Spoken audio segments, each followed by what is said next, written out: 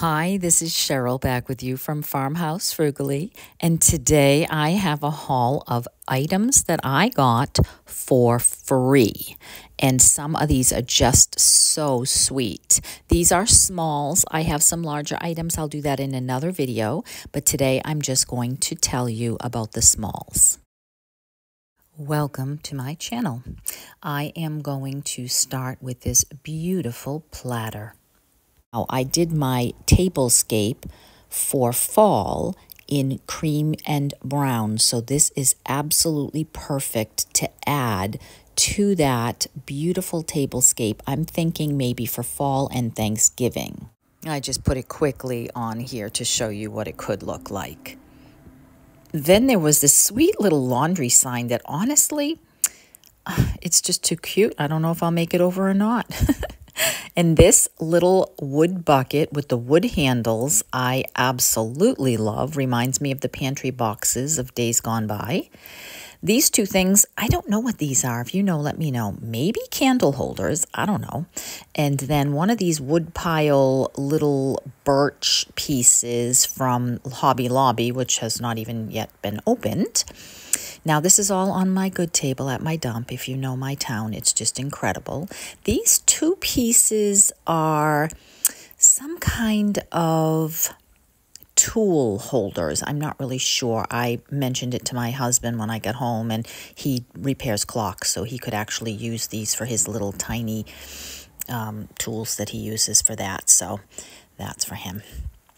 This sign I thought was kind of funny, and uh, maybe in the future will make over in one of my crafts. And this cutting board, absolutely gorgeous, hand painted. I'm going to use this as a display in the summertime. I am not going to paint over that. It is just too beautiful.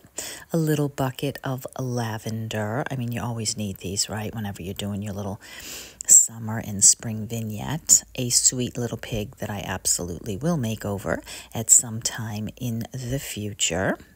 This thing, whatever this thing is, I have made over. So if you have not seen my pumpkin party video that I just posted, you will absolutely want to see what I did with this little item. And I cut the handle off so that I could use the handle for a different project. And then this chicken feeder. I'm thinking it's a chicken feeder, which means it needs some major scouring before I can turn it into anything. Two fours. Four happens to be my favorite number, so for whatever reason, I have four and four, two different sizes, so I'll use them in a future project. And oh my goodness, I love these little wooden salt and pepper shakers. I see them as risers or stands for something in the near future. This absolutely adorable box with a uh, chicken wire type front that is going to make a wonderful flip. I am not sure yet what I'm going to do with it, but I know this has the bones of a really fantastic project. So stay tuned for that. And I have in mind something that I absolutely want to do with this beautiful little clock that is just a battery, so I can um, you know, definitely use this as a craft and it is going to be lovely. Make sure you're subscribed so that you don't miss what I do with some of these items.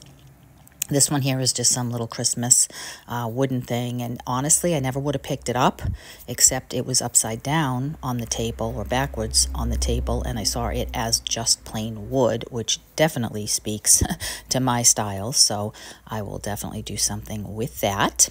And oh my goodness, look at this little bird bath that I'm going to put out in my garden. It is rusty and crusty and perfect already. And look at the sweet little frog that it has on it. Oh my goodness, how cute is that? So that is my quick little haul that I got on the good table at my dump this month. And I hope that you will stay tuned to see what I do with these wonderful creations. And thank you so much for stopping by. I would love a like and a share of this video if you're willing to help me to be able to continue to do this. Take care. See you in the next one. Bye bye.